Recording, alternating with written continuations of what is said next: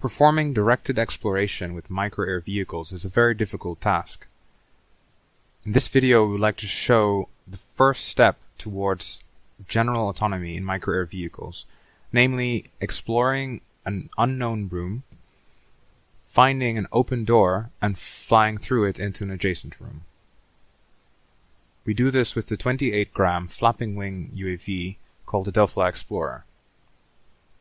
Here you can see the flight performance of the Delfly, with the pilot pictured controlling the altitude of the vehicle, but lateral control being done fully autonomously on board. All sensing, collision avoidance techniques, door identification and navigation is performed using onboard computation and sensors only. The task was simple. The Delfly started in one room, had to autonomously explore the room, trying to find an open door. Once it did, had to traverse the door into an adjacent room where the task was repeated. Here you can see the Delfly Explorer in more detail.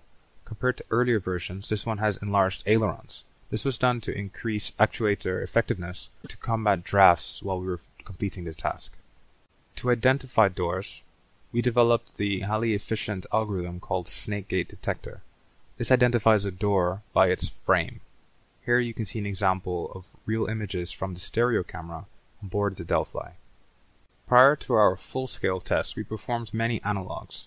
Here you can see a double gate test in our flight arena, where we tried to find out the weaknesses of the DelFly. It also highlights the fact that the snake gate detector does not only work with grayscale images, but can also work with color images. This was very useful in identifying the weaknesses of the DelFly, allowing us to make iterations into its design, moving us closer to our dream of open-ended MAV exploration in the future.